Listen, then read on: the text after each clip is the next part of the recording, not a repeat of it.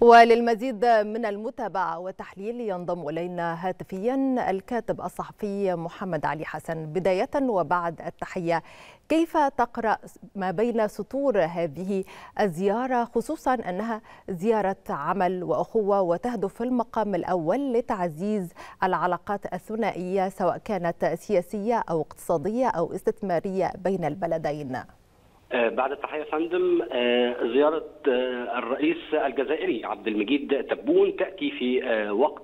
يعني تمر به المنطقة في ظروف متشابكة الجميع يتابعها خلال هذه الفترة. الزيارة وصفت بأنها زيارة أخوة وزيارة عمل العلاقات المصرية الجزائرية يعني علاقات ممتدة علاقات راسخة علاقات تاريخية. منذ خمسينيات القرن الماضي وجدنا أن مصر كانت تساعد الأشقاء في الجزائر من أجل التحرير وأيضا الأشقاء في الجزائر ساعدوا مصر وساندوها في حروبها المختلف في أوقات عصيبة للغاية. نعود إلى الزيارة. الزيارة تأتي في وقت صعب للغاية. هناك تصعيد في المنطقة. الجزائر قوة إقليمية لا يستهان بها وقوة يعني متوسطية. دولة مصر ودولة الجزائر هما قوتان في المنطقة العربية. من من الواضح أن هناك بعض المشاورات التي ستكون بين الرئيس عبد الفتاح السيسي والرئيس الجزائري عبد المجيد تبون حول العديد من الملفات والعديد من القضايا، القضايا الإقليمية، القضايا الاقتصادية وأيضا الاستثمارية، زيارة الرئيس الجزائري عبد المجيد تبون تأتي في إطار جولة خارجية له في عدة دول بدأها بالفعل من القاهرة. الحديث سوف بالطبع سيتطرق إلى الأوضاع في قطاع غزة التصعيد مع جنوب لبنان وأيضا ماذا بعد في الفترات المقبلة سواء من تهدئة أو مستقبل المنطقة بشكل عام. نعم شهدت العلاقات المصرية الجزائرية دفعة قوية بعد تولي الرئيس السيسي مهام البلاد واختار الجزائر لتكون أول وجهة له خارج مصر وفي المنطقة العربية. كيف تقرأ أهمية ذلك في ضوء يعني أن الجزائر هي عضو مؤسس في الاتحاد الإفريقي وأيضا في اتحاد المغرب العربي؟ بالإضافة مثل ما ذكرت بأنها قوة إقليمية ومتوسطية. يعني كانت هذه رساله من الرئيس عبد الفتاح السيسي عقب توليه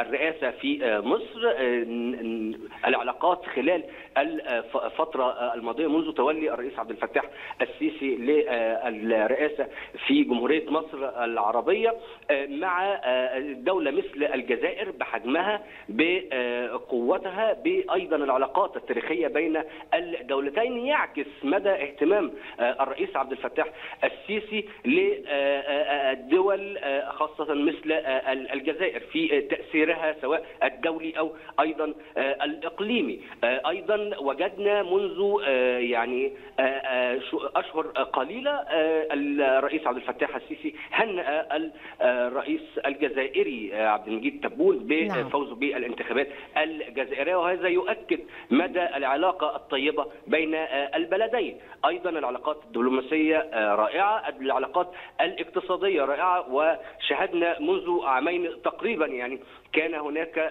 تعاون مثمر للغاية ما بين وزارة الاتصالات في مصر ونظارتها في الجزائر بالتعاون في مجال الاتصالات والبريد وأيضا الكابلات الإلكترونية وأيضا اهتمام من الجزائر بنقل التجربة المصرية المتطورة في التكنولوجيا والميكنة وأيضا يعني نقل تجربه عديدة للغايه من الانتقال إلى من من الورقي إلى الإلكتروني في مجالات عديدة. وهذا ما صرح به وزير الاتصالات الجزائري. وأيضا حين هذه الزياره أتذكر أنه أكد بشكل كبير للغاية عن مدى التطور الذي تشهده مصر خلال الفترة الحالية. والتطور طفرة في مجال الاتصالات في مجالات التكنولوجيا أيضا الاستثمارات ما بين مصر والجزائر في مجالات عديدة. الميزان التجاري ما بين مصر والجزائر يعكس مدى الاهتمام ما بين الدولتين في قوة اقتصادية في الجزائر وقوة اقتصادية في مصر. ويعني هذا مثال لتعاون بين دولتين عربيتين شقيقتين في نطاق إقليمي واحد يهمهما يعني بعيدا عن حتى الاستثمارات الاستثمارات أو التجارة أو الاقتصاد الملفات الإقليمية كما تحدثت في بداية المداخلة عن ما يهم الشعب العربي أو الشعوب العربية المتمثلة في القضايا الإقليمية التي بالطبع تؤرق كل مواطن عربي في هذه الفترة. لن ننسى الحقيقة ونحن في شهر الانتصارات شهر أكتوبر المجيد أن نتحدث عن الدور الداعم للجزائر حيث كانت هي ثاني دولة تقدم الدعم الكبير لمصر إبان حرب أكتوبر 73 وشاركت على الجبهة المصرية بفيلقها المدرع الثامن للمشاة الميكانيكية.